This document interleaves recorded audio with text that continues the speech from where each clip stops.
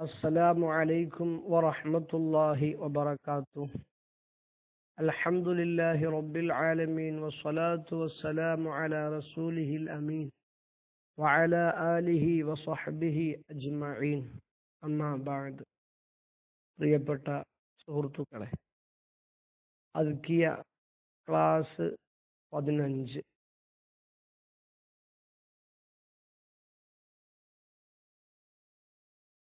إن الطريق شريعة وطريقة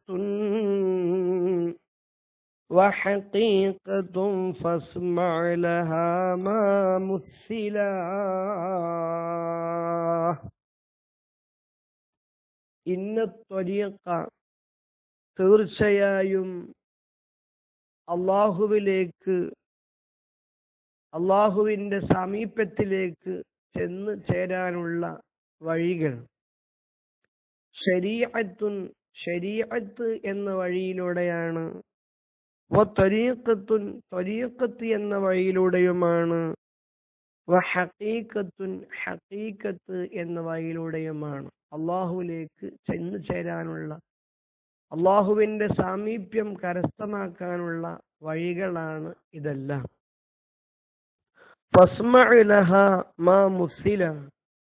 ഈ മേൽ പറയപ്പെട്ട കാര്യങ്ങൾക്ക് ഉദാഹരിക്കപ്പെട്ട ഉദാഹരണങ്ങൾ നീ കേൾക്കണം എന്ന് മഹാനായ മുസന്നിഫ് ആദ്യമായി നമ്മെ ഉണർത്തുകയാണ്.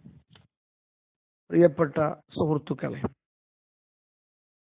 തക്കുവയെ തക്കുവയാണ് എല്ലാ വിജയത്തിന്റെയും മാനദണ്ഡം എന്നും ദേഹച്ചയെ പിമ്പറ്റൽ എല്ലാ പരാജയത്തിന്റെയും തുടക്കമാണ് എന്നും മുസന്നിഫ് റഹ്മത്തുള്ളായി തങ്ങൾ പറഞ്ഞപ്പോൾ ഈ തക്കുവയെ സൂക്ഷിക്കാനുള്ള മാർഗങ്ങൾ എന്തൊക്കെയാണ്? ഈ ദേഹച്ചയെ വിഭാടനം ചെയ്യാനുള്ള ഒഴിവാക്കാനുള്ള മാർഗങ്ങൾ എന്തൊക്കെയാണ്?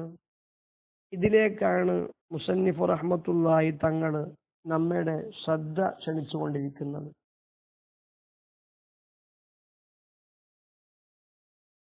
അഥവാ പരലോകത്തിലേക്ക് അള്ളാഹുവിന്റെ സാമീപ്യത്തിലേക്ക് ചേരാനുള്ള വഴികൾ മൂന്നാണ് എന്ന് പറഞ്ഞു. അഥവാ ശരീഅത്തും തരീക്കത്തും ഹക്കീക്കത്തുമാണ് അള്ളാഹുവിലേക്ക് ചേരാൻ ഉദ്ദേശിക്കുന്ന ഒരാൾക്ക് ഈ മൂന്ന് കാര്യങ്ങൾ മുറുകെ പിടിക്കൽ കൂടാതെ കഴിയൂല. കാരണം ശരീഅത്തില്ലാത്ത ഹക്കീക്കത്തും ഹക്കീക്കത്തില്ലാത്ത ശരീഅത്തും രണ്ടും ബാത്തിലാണ് അത് ഇല്ലാത്തവന് സമമായിക്കൊണ്ടിരിക്കും നമുക്ക് ഒന്ന് വിശാലമായി അതിലേക്ക് പ്രവേശിക്കാം لأن الحقيقة بلا شريعة ശരീഅത്ത് പാലിക്കാതെ ഹക്കീക്കത്ത് കൊണ്ട് മടക്കൽ ബാത്തിലത്തുൻ അത് ബാത്തിലാണ്. എന്നാൽ ശരീഅത്ത് ബില ഹക്കീക്കത്തിൻ ഹക്കീക്കത്ത് കൂടാത്ത ശരീഅത്ത് ആത്തിലത്തുൻ അത് ഇല്ലാത്തവന് സമമാകുന്നു. ഇല്ലാത്തവന് സമമാകുന്നു. അഥവാ ഒരു വ്യക്തിയോട് നാം നിസ്കരിക്കാൻ വേണ്ടി ആവശ്യപ്പെട്ടു. ശരീരത്തിന്റെ നിയമമാണല്ലോ നിസ്കരിക്കുക എന്നത്. ആ സമയത്ത് അയാൾ പറഞ്ഞു ഞാൻ എന്തിനാ നിസ്കരിക്കേണ്ട ആവശ്യം? കാരണം അള്ളാഹു സുബാനുഭവത്താല നമ്മെ സൃഷ്ടിച്ച് നമ്മിൽ ആത്മാവിനെ സന്നിവേശിപ്പിക്കുന്ന അവസരത്തിൽ ഞാൻ പരാജയിയാണോ വിജയിയാണോ ഈ കാര്യങ്ങളൊക്കെ തീരുമാനിച്ചു കൊണ്ടാണല്ലോ എന്നെ പടച്ചിട്ടുള്ളത്. അതുകൊണ്ട് ഞാൻ നിസ്കരിച്ചാലും ഇല്ലെങ്കിലും ആ തീരുമാനപ്രകാരമല്ലേ കാര്യങ്ങൾ നടക്കുകയുള്ളൂ എന്ന് ഒരാൾ പറയുകയാണെങ്കിൽ അവൻ ആരാണ്? ശരീരത്തില്ലാത്ത ഹക്കീക്കത്തിന്റെ ആളാണ്. അവൻ ഒരിക്കലും വിജയിക്കൂല. എന്നാൽ രണ്ടാമത്തെ വ്യക്തിയുടെ ഉദാഹരണം എന്താണ്? അയാൾ അമലുലി അജലിൽ ജന്ന സ്വർഗം കിട്ടാൻ വേണ്ടിയിട്ടാണ് അമൽ ചെയ്യുന്നത്. അഥവാ അവൻ പറയുന്ന വാക്കെന്താണ്? എന്റെ ഈ അമൽ എന്റെ നിസ്കാരം എന്റെ നോമ്പ് എന്റെ സക്കാത്ത് എന്റെ മറ്റുള്ള സൽക്കർമ്മങ്ങൾ ഇതൊന്നും ഇല്ലായിരുന്നുവെങ്കിൽ ഞാൻ ഒരിക്കലും സ്വർഗത്തിൽ കടക്കുകയില്ല. ഇതെന്താണ്? ആത്തിലത്തായ ശരീരത്താണ്. അഥവാ ഉണ്ടെങ്കിൽ തന്നെ ഇല്ലാത്തതുപോലെയാണ്. ഒരിക്കലും ഒരാളുടെ അമലല്ല അവനെ സ്വർഗത്തിൽ കടത്തുന്നതും നരകത്തിൽ കടത്തുന്നതും. മറിച്ച് എന്താണ്? സ്വർഗത്തിൽ കടത്തുന്നത് അള്ളാഹുവിന്റെ മഹൽ ഫضൽ കൊണ്ടാണ്. പ്രശുദ്ധമായ ഹദീസിൽ ആ കാര്യങ്ങളൊക്കെ വ്യക്തമായി നമ്മെ പഠിപ്പിച്ചിട്ടുണ്ട്. ശരീഅത്ത് എന്നാൽ ഹിയൽ അമറല്ലാഹു ബിഹ. അള്ളാഹു സുബാനു വതആല നമ്മോട് പ്രവർത്തിക്കാൻ വേണ്ടി കൽപ്പിച്ച കാര്യങ്ങളും അള്ളാഹു സുബ്ഹാനഹു വതആല നമ്മോട് വെടിയാൻ വേണ്ടി ഉപേക്ഷിക്കാൻ വേണ്ടി കൽപ്പിക്കപ്പെട്ട മൻഹിയാത്തുകളുമാണ് ശരീഅത്ത് എന്ന്. എന്നാലോ ഒത്തരീക്കത്തു അൽ ജറിയു അലാ ദാലിക വൽ അമലു ബിഹി. ഈ അള്ളാഹു കൽപ്പിച്ച കാര്യങ്ങളിലൂടെ പ്രവർത്തിക്കലാണ് തരീഖത്ത് എന്നത്. അതിലൂടെ ആ കൽപ്പിച്ച അതേ റൂട്ടിലൂടെ സഞ്ചരിക്കുക ആ കാര്യങ്ങൾ അപ്രകാരം ചെയ്യുകയും ചെയ്യുക. പിന്നെയോ വൽ ഹഖീഖത്തു നളുറുഹു ലി ബവാത്തിനിൽ ഉമൂരി മിനല്ലാഹി. ഈ പ്രവർത്തനങ്ങൾ ഇതേ രൂപത്തിൽ നാം ചെയ്യുമ്പോൾ അള്ളാഹുവിൽ നിന്ന് ആ വ്യക്തിക്ക് ലഭിച്ചുകൊണ്ടിരിക്കുന്ന ആത്മീയമായ ആ ദർശനം. ഇതാണ് ഹക്കീക്കത്ത്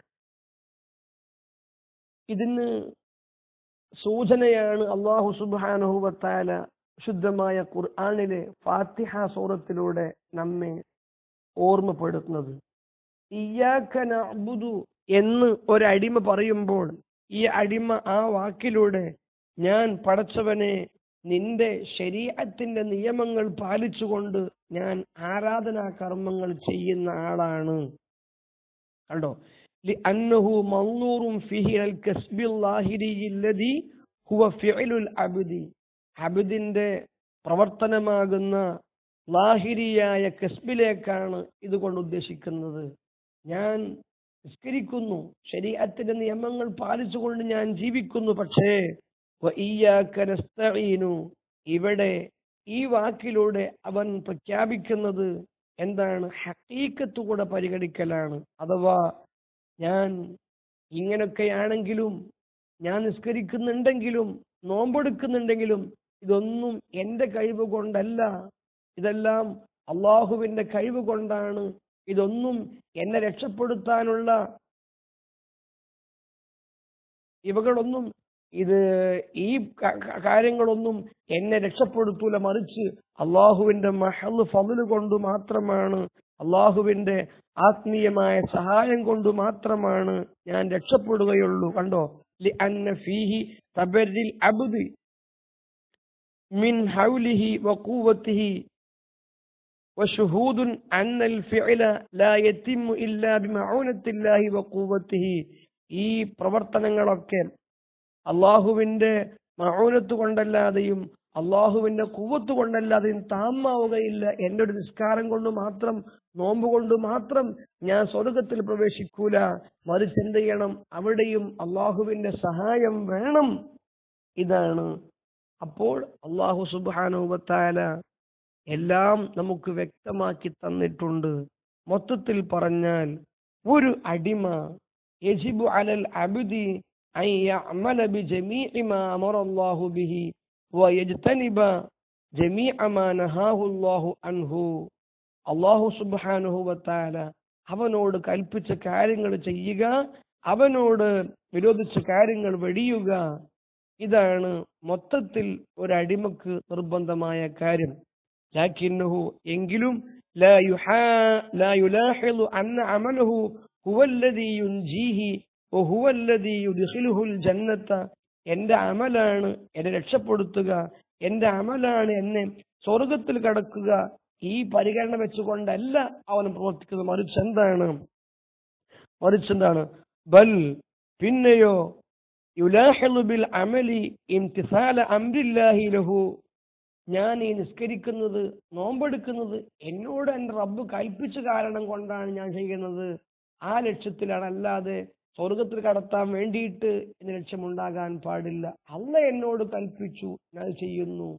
ഞാൻ അടിമയുടെ ബാധ്യത ഈ ബാധ്യത നിർവഹിക്കലാണ് ഒരടിമയുടെ കർത്തവ്യം.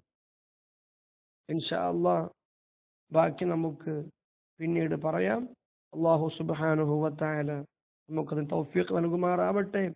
ശരീരത്തിലൂടെ ത്വരീക്കത്തിലേക്കും ത്വരീക്കത്തിലൂടെ ഹക്കീക്കത്തിലേക്കും പ്രവേശിച്ച മഹാന്മാരായ മഹാന്മാരായ ഔലിയാക്കന്മാരുടെ വറക്കത്ത് കൊണ്ട് അള്ളാഹു നമുക്കും ആ മാർഗത്തിൽ മുന്നേറാൻ തൗഫീഖ് നൽകി അനുഗ്രഹിക്കുമാറാവട്ടെ. ആമീൻ.